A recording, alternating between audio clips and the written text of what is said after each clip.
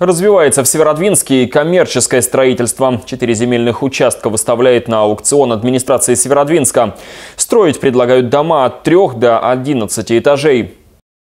Первый земельный участок, который выставили на аукцион в районе Победы 4. Здесь по планам строительства жилого дома переменной этажности 5-11 этажей.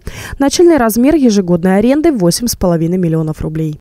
Квартал К – это свободный э, земельный участок. Там ранее э, какие-либо объекты не располагались. Поэтому администрации Северодвинска было ранее принято решение о формировании этого земельного участка и выставлении его на аукцион. Э, земельный участок отмежеван, поставлен на государственный кадастровый учет.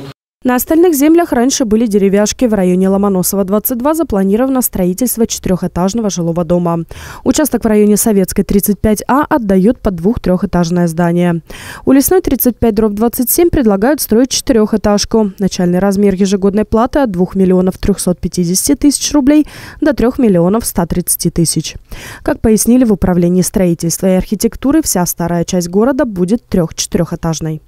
Мы заключаем а, контракт по проекту планировки Восточного жилого района. Это полностью на всю старую часть э, города. И в 2017 году мы увидим концепцию застройки всего, всей старой части города в целом. Ну, также будем проводить публичные слушания, на которые всех мы вас приглашаем.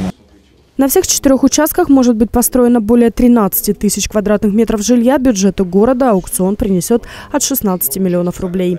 Однако это лишь начальная цена. Каждый шаг торгов ее увеличивает.